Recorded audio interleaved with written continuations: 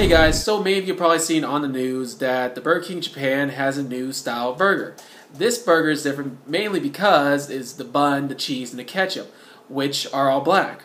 Now this is something I haven't seen ever, and I'm really excited to see how it takes off in Japan, and I'm happy to say it's really taken off really well. Um, they're selling like hotcakes. They're very happy about how they did it, and it's interesting too, to make the buns black, they used charcoal when they mixed it, you know, when they mixed it all together and baked it.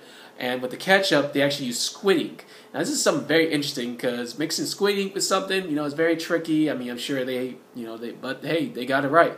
And like I said, it's selling hotcakes and black cheese. I mean, that's just, hey, I, I think that's kind of cool. But um, there are two types of this burger. Now, there's one called the Kuro Burger Pearl, that's basically a cheese patty um, with less tomato. But, but hey, the mayo, surprisingly, is not black.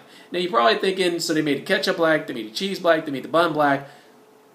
The mayo they left white. Why not make that black? You know, it could just basically be an all black burger almost.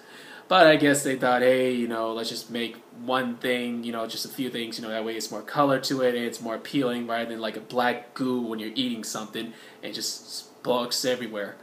But hey, um, I guess you know they figure, hey, you know we got the ketchup, that's already black, so let's not mess with the mayo too much. That might just freak people out or something. You think ketchup, you know, turning black would make people freak out, but I guess not.